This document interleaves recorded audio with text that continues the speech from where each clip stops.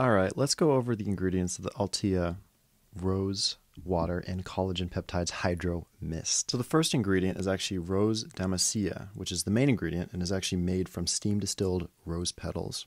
The second ingredient is hydrolyzed collagen, which is actually a protein that is naturally found in the skin that is supposed to help it keep its plumpness and its elasticity. The third and final ingredient is hyaluronic acid, which is actually a substance also found in the skin and is supposed to hold water within it. So the rose water is actually certified organic, which means that it has been grown without the use of pesticides or herbicides. The hydrolyzed collagen is actually derived from bovine, which is, you know, pretty interesting. And the hyaluronic acid is synthetic. Overall, I find this safe for my skin and I enjoy the spray.